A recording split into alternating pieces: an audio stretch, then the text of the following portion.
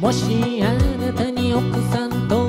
子供がいて私が邪魔ならポケットの中でも入れて歩いていつもと違う他人行儀な言葉遣いに一人で泣いたわあなたが出かけた寂しい部屋で。必ず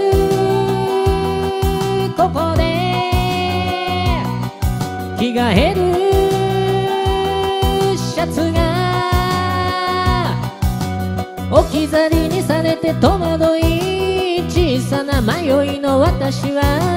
今日で23もしあなたに奥さんと子供がいて私が邪魔ならポケットの中でも入れて歩いて。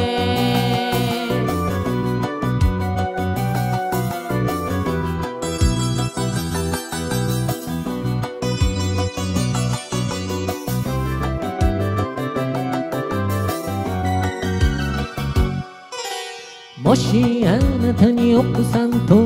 子供がいて私が邪魔ならポケットの中でも入れて歩いて。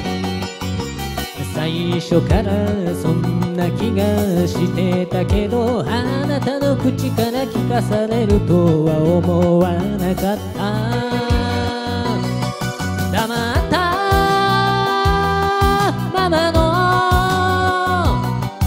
気まずい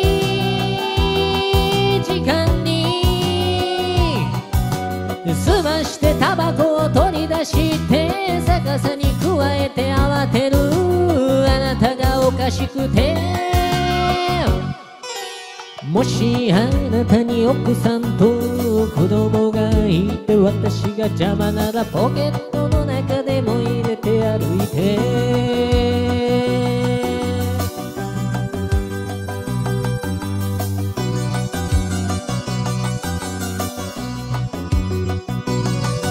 必ず